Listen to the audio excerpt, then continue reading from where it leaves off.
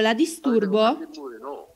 Mm, non so, dipende da quello che vuole sapere, dica pure. Volevo sapere se era disponibile per un'intervista eh, per rispondere un po' a Dino Baggio.